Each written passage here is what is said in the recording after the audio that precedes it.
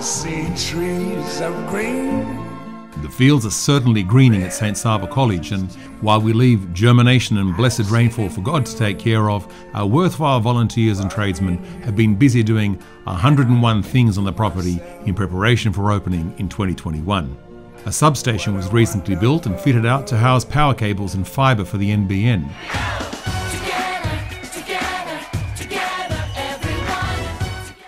These little huts don't come cheap, but then again, neither do the massive water tanks at the other end of the property.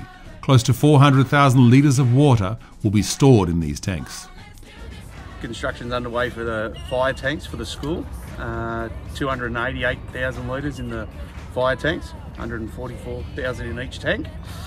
Uh, just to provide fire protection for the school. And then there's a 100,000 litre potable water tank provide uh, drinking water. People think we might be building a brewery out here, but it's actually a fire tank. Diggers are good at dig, dig, digging, scooping up the earth and lifting and tipping. The huge level frontage of the property will collect megalitres of water, so hundreds of metres of stormwater pipes and collection pits are being buried around the property to facilitate the removal of excess water. The men are back. Extensive concrete work has been finished around the perimeter of the entire building, and external tiling and painting are well underway. Where would we be without our concreters?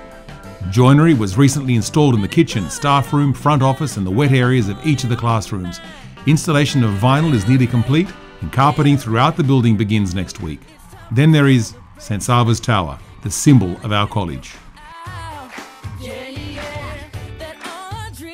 The exquisite white Australian sandstone with which the tower is being clad is simply breathtaking. Roads, parking areas, and fencing are on the agenda for completion in the days before St. Nicholas Day in December. There is some really exciting news to share with you next week, but sorry, you'll just have to wait.